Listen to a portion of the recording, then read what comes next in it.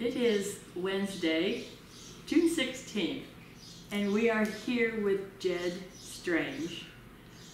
We're going to learn a little bit about his family history and also about Jed's special talents. He is a very talented person.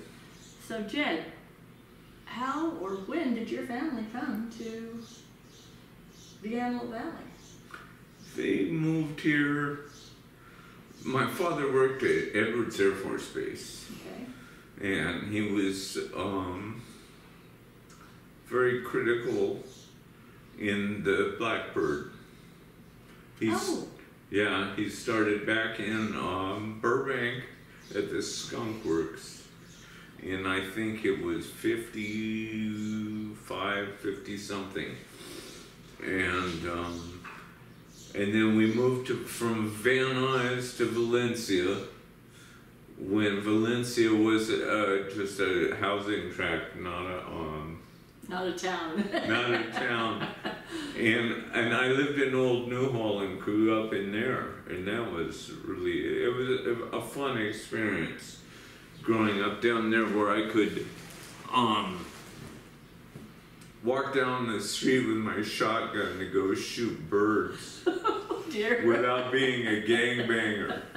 You know, it's just old times, but that's years ago, you know, and um, and then they moved up here when I graduated high school in '73, and I was going to California Institute of the Arts and College of the Canyons, so I didn't want to move up here because of the commute.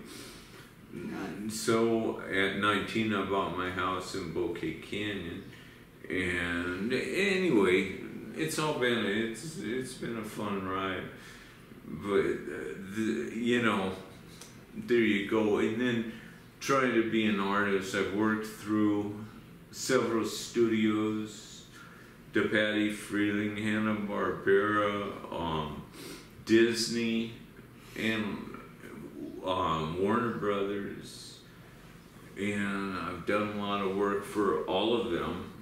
And then I just kind of wanted to pioneer out and become um, just me, you know, and that's what I'm doing now. Right. And And you've done some awesome, awesome work. We need, we're, we're going to have some of it on video um, during this segment. Um, I remember your mom. Um, yes, She was here. I remember her because she was a notary. She was one of the only notaries in yeah, the Rotary Notary. in the area. Yeah, and she would she would come to you. Yeah. so I remember. Yeah. Um, so when did you actually then move here from Bouquet Canyon? Um, about 14, 15 years ago, I moved in here to take care of her. Okay. Okay.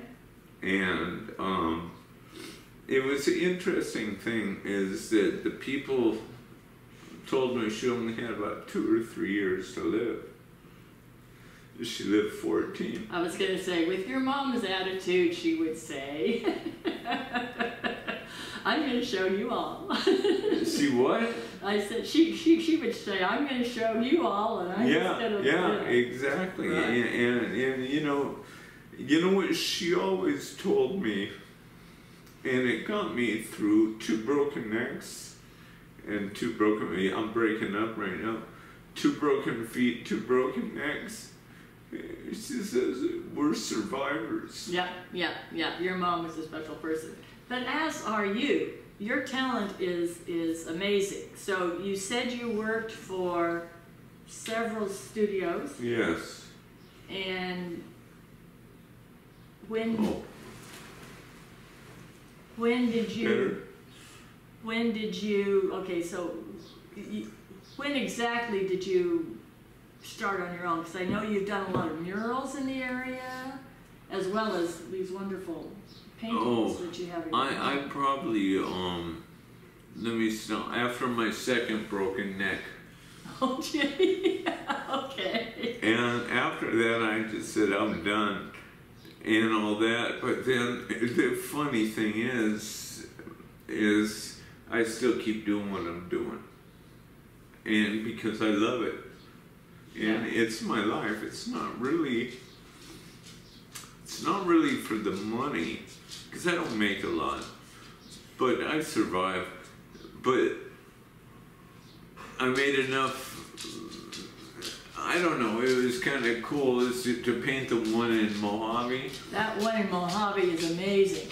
and I broke both my feet. I remember you fell off the, the scaffolding. the, no, the scaffolding Oh. fell off on me. oh, okay. okay. No, it was it was a matter of when we were rigging everything up, we didn't have the uh, safety ropes. They were up on the roof and they were there to be attached, but we didn't have them on there. And I was climbing up a second rung and it just started falling down and I didn't know what to do. I figured, well, I gotta bail out. All right. So, and the funny thing is, I went boom. On your. I dropped flat on both my feet, and I never fell down. Yeah, you just broke. broke.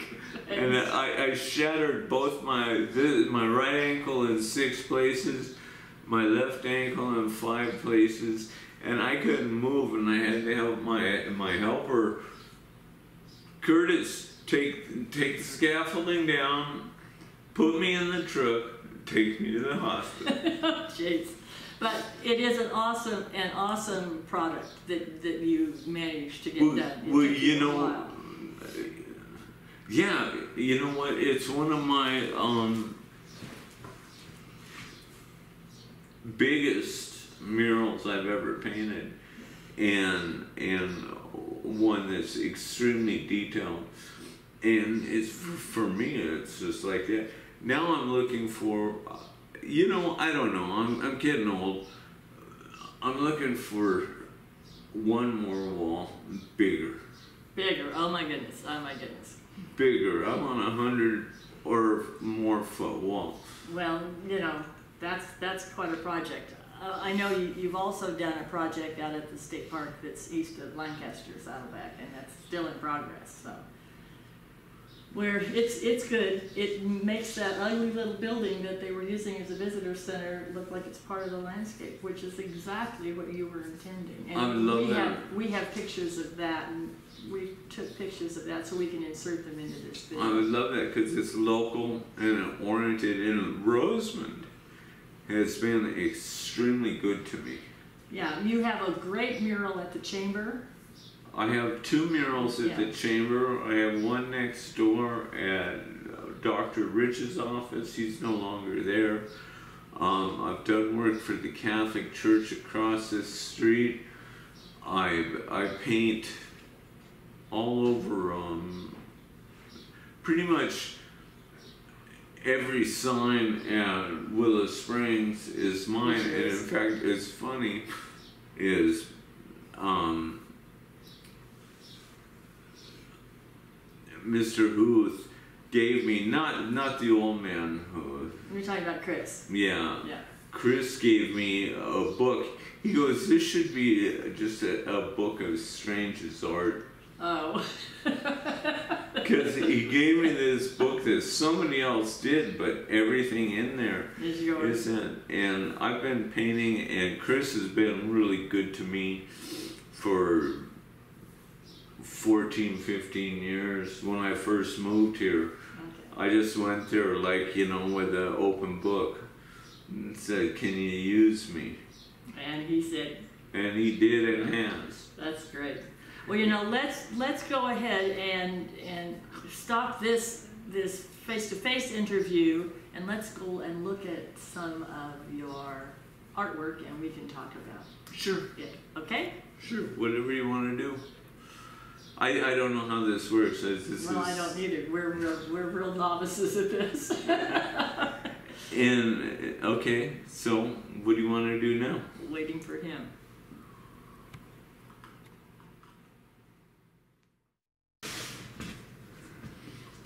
Right, Jed, this, this is a special painting for you, so tell me a little about this. It's what you would call a four pick. There's three other canvases that belong to this and um, it was the first painting I painted after I broke my neck the first time. Oh, gee. So that is just amazing.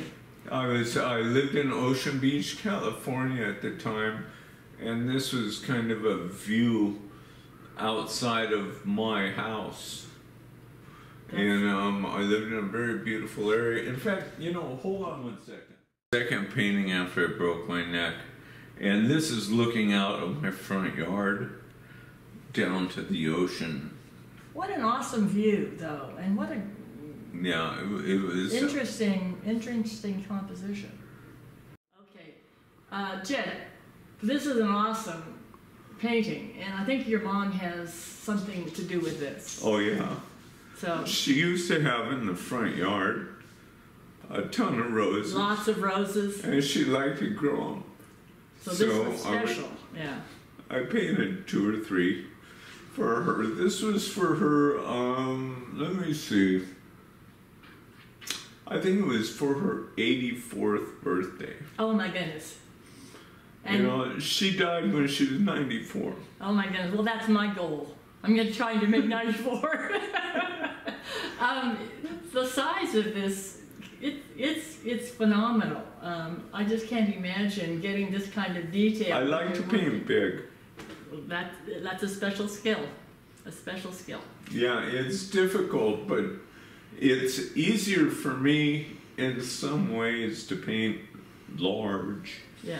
Than it is to, To paint, paint small. You know, it, it's simple to paint small. I can do that, but um, the grand gesture of painting big means a lot to me, and it's It's why you're a good muralist. It's why you're an awesome muralist. Let's go on and take a look at the picture you painted of your mother, since we're looking at a painting you painted for your mother. So we're which other one do you want to see? that one right there. You're gonna have to move the puppy My dog. mother liked carousel horses, so I bought this for her. Swing that lamp around. Swing the lamp around. I'm not sure it'll. Swing. It'll swing. Okay. Uh, like that. Okay. My mom never liked this painting. Oh, is that right? She thought she looked like a hooker. Oh no. oh no. She just thought she looked like a hooker. I think it's a lovely picture. I think it Yeah, it's a great her. painting of my mom. Yeah, it captures. her. 1940s, It's really like wonderful. that. Yeah, yeah. She just, I mean, she loved it. She liked that it was here, but at the same time, she, she goes, "I look like a hooker." Oh dear. This one is special. You said you painted it. It was like someone down below wanted this. In Malibu. In It was for, it, it says it right down on the corner. I can't remember who it was, but it was supposed to be in their um, master bathroom or bedroom or somewhere. I don't even recall anymore.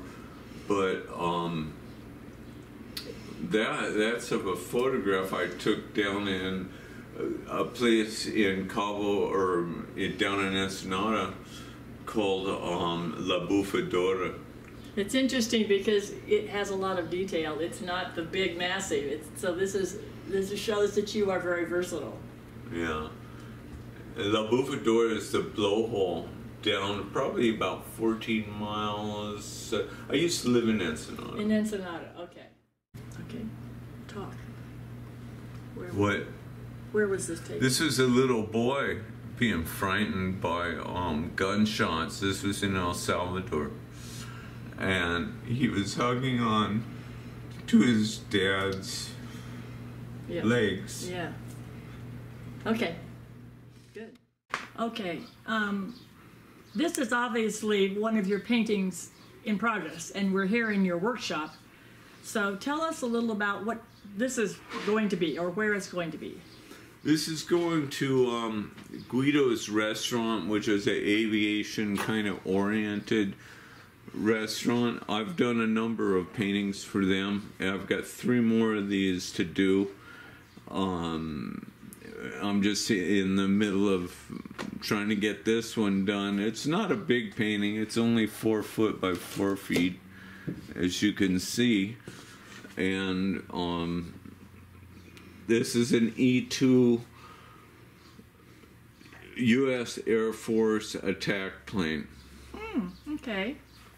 And then this over here is this with the wa the I- I'm just- magnolias or water lilies or Yeah, they're water lilies, Water and lilies. I, I'm just um, that's just something I'm doing on my own. well, that's it's neat. Just you know, it, sometimes it frees me from doing this stuff. It gives you this is work, and that's fun. That's that's a great a great break. Okay, Yeah. let's go around and look at the other side because there's some awesome things Yeah, this on is a big side. easel I have here. Okay.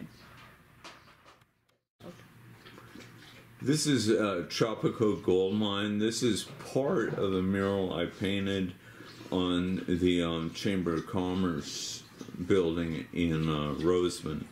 It's just one section of it. And um, it's just miners hanging out, enjoying the day off. Okay.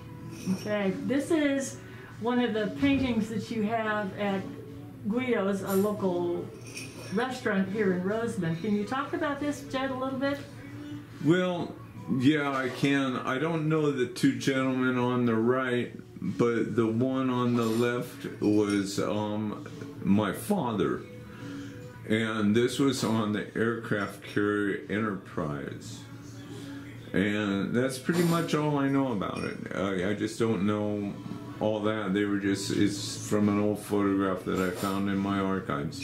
But it goes with the theme that, that they now have here at Guido's.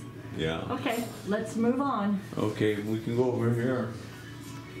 Okay, here is a painting that Jed has done. Also, we're in still in Guido's. And Jed, this is Pancho Barnes. Pancho Barnes, very famous um, aviatrix. Back in the old days, um, she was quite a um, uh, quite a character. yeah, quite a character. That's bet. She she had the Happy Bottom Riding Club out here in Mojave, and um, yeah, she was a character. But you know, she is she was just full of vim and vigor. Yep. Okay, Okay, Jed, you have done this for the chamber, and it has a lot of local history in it. Uh, I think you even have your mom in this one, hidden down there by the Rosamond Depot. And I know you've got some of this from pictures that the Historical Society had. So you want to talk to us a little about this? The, um, basically, the, the, this mural was designed to go from uh, Willow Springs, the town, to Willow Springs, the raceway, to the feline compound, Tropico mining, and the Rosamond um, railroad station, where that's my mom in the foreground. Nobody knows that, but now everybody does and and then the green pastures just are the agricultural system that we had going on here alfalfa fields sugar beets and and all that and then the very end of it goes to um, which would be uh, It's the dry lake bed. They used to yeah, the dry Mojave dry lake bed, which Muroc, is, yeah. and that's what they did that. And then all the aircraft above here just go from the U-2 to the P-38 to the Mustang to the shuttle to the F-18s and to the um the whatever that sky plane is named. I can't remember right at the moment. All right, Jed. Now this mural has a little bit of a different layout. Yeah, th- this one is just I wanted to put the B-52 up here um, bomber because that's kind of what was going on at the time. This is a couple years old. It's not finished yet. There's a lot of I I have to continue the wall down here, but all in all, it's just basically the just the desert scene of our um, local flora and fauna, and it just needs to be finished. but you know, I got more work under my arms and I know what to do with. Well, that's good.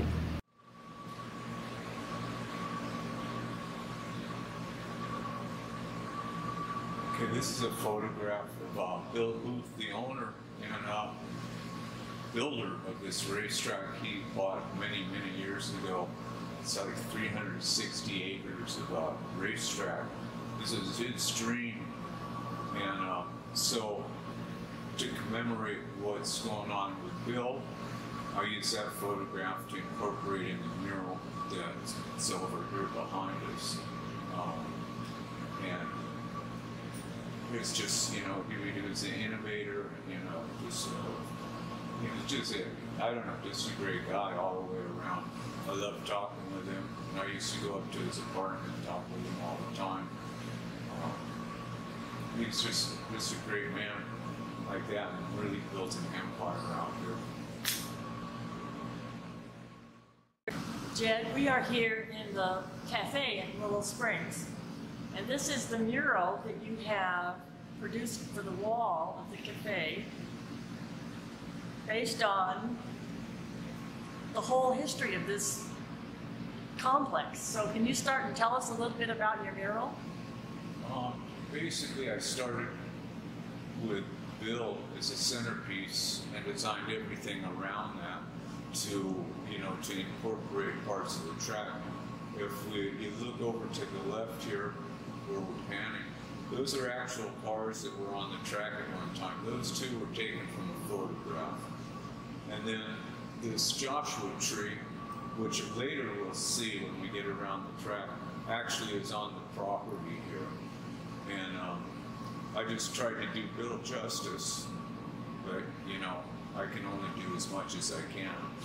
But um, it, it, turned out pretty good. I, I like it. And it's very difficult because I painted in black and white, and that's harder to do than painting in color. Color's easy because you can hide your mistakes, but when you're painting in black and white, it's very difficult to, um, you know, it's just, it's much more difficult like that. And these are bikers that used to be, I, I don't know, they still have bike races out here, but um, these two are also from photographs that were taken out here going around the track. I just tried to incorporate the mountains and the checkered flags just to become, you know, more like a raceway looking mural. This mural is, um, let me see, I think it's like 7 feet by 27 feet.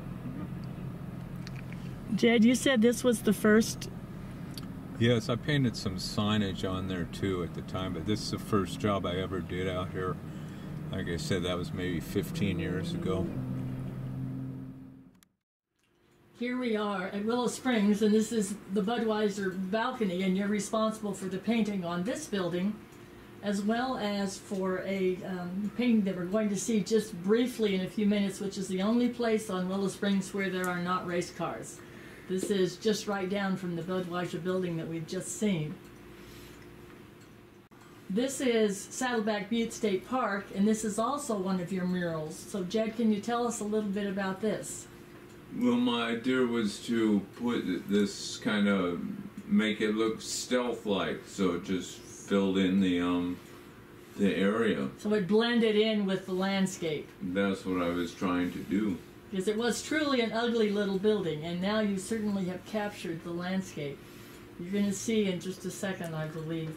If you stand in a certain spot, you it blends into the landscape beautifully.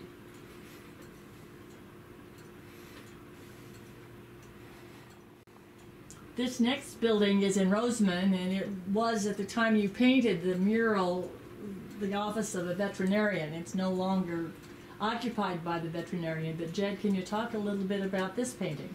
Yeah, Dr. Rich wanted me to um, just put animals in here, like the ferrets marshaling and the soldiers hoisting the flag, and then there's a dog flying and a cat flying in this um, F-22s, and then of course a bird.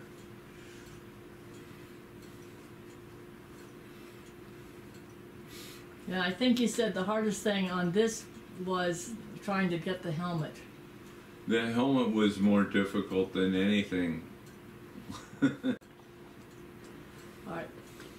This is in Rosamond, or I mean in Mojave. This is uh, the air races that used to be held in Mojave all the time. The 26 um, six mule team, the uh, Starliner air or um, all the various forms of transportation. yeah, it's all transportation related. And this is on the side of the building, the, the bank building, correct? Yeah, it's 36 feet long and uh, no, 38 feet long and 16 feet tall. Well, Jed, we really, really appreciate you taking the time to share your time with us.